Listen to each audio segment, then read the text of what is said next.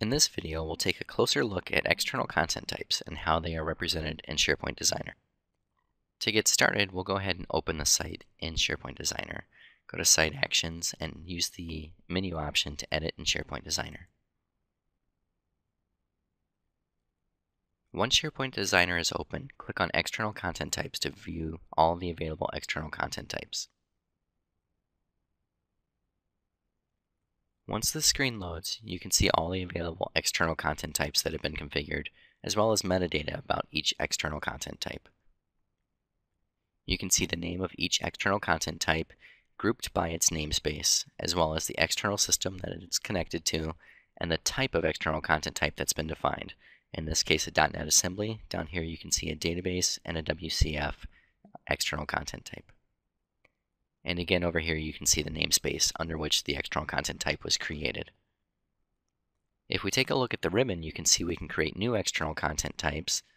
If an external content type is selected, we can also create an external list, edit that content type, delete the content type, or export the BDC model, which we'll talk a little bit more about later. For now, let's edit the region's external content type by clicking on the region's external content type. As you can see, we've loaded the summary view of the region's external content type. There's a lot of information on the screen, but it's broken up into different groups. For now, we can collapse the different groups and just focus on one at a time. For now, we'll go ahead and start with the external content type information group. Here you can find the name of the external content type as well as the, the display name, which can be unique. The namespace, which is specified when you're creating your external content type, and a version, which is auto-incremented every time you save. However, you can also go in here and override it. Another read-only field is the identifiers field, which shows any primary keys that have been defined. The office item type refers to a very powerful feature with the BCS. The BCS allows you to open items from an external list inside of Microsoft Office Outlook. Inside of Outlook, there are a number of different types including generic lists, appointments, contacts, tasks, and posts that you can map your external content types to. A common example is to have a customer's external list and map that to a contact item inside of Outlook. Those customers would then show up inside of Outlook as if they were normal Outlook contacts. Very powerful functionality. If you're not planning to leverage that functionality, however, you can just select Generic List. Finally, you can see which external system has been configured for this external content type. Next, we'll take a look at the external content type operations group. External content types contain a number of different operations, and this is really where all the work happens for an external content type. Operations define how your external content type is going to talk to your external system and bring back data. And there's a number of different types your operations can have. Regions happens to have all the different types defined that SharePoint Designer allows you to create. It has a create operation, an update operation, a delete operation, a read item, and a read list operation. Most of the configuration options for external content type operations happen on the operations design view, which we'll take a look at here in a little bit. Next we have the fields group, which shows you all the different fields that are associated with this external content type. For instance, if you were to create an external list based on this external content type, these are the columns that would be made available to you. There's not a lot of configuration you can do here for your fields. Most of that is defined inside of your external content type operations. But what you can do is select which field you want to be set as the title. And again, that's referring to when you create an external list, an external list needs to have a title field just like any other SharePoint list. Next, we have the external lists group, which shows all the external lists that have been created based on this content type. You can actually go up here to the ribbon and choose Go to List, and it will take you to that external list. Finally, we have the permissions group, which shows you the permissions that have been defined for this external content type. Now, you can't modify permissions here. In order to do that, you need to go inside of Central Administration now we'll use the ribbon to switch over to the Operations Design view. The Operations Design view is where we can manage the connections to our external systems. We can also create and manage our external content type operations here.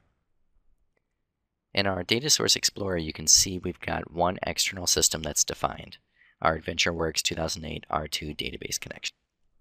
We can choose to remove this connection or choose to add additional connections anytime we need. By browsing through our data source, we can add additional operations as well. In this case, we'll look for the sales territory table, and by right-clicking, we can choose to create a new operation based on that table. We can also select from our existing operations and choose to edit those operations.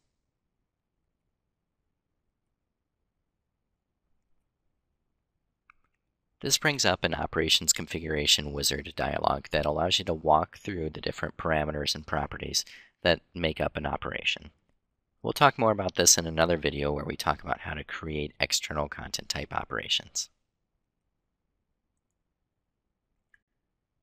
As you can see, a lot of work goes into creating these external content types.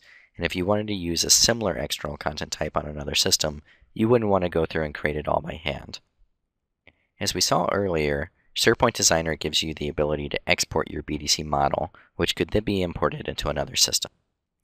We can use the breadcrumb to get back to our list of all external content types. And if we select the region's external content type, or if we wanted multiple, we can use Control-click to select multiple external content types, and then from the ribbon, choose to export our BDC model. We can give our model a name, in this case, demo, choose OK, and then we can decide where we want to save our file.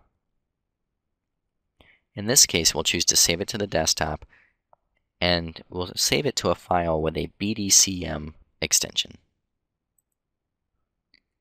Even though the file has a BDCM extension, it's actually just an XML file. So if we rename the file with an XML extension, we can then open that file in Internet Explorer and see what exactly is being saved off. If we browse through the XML file, we can see all the components that make up our BDC model. We have our line of business system instance here, which defines the connection string properties needed to talk to our database, and all the different external content types that we chose to export.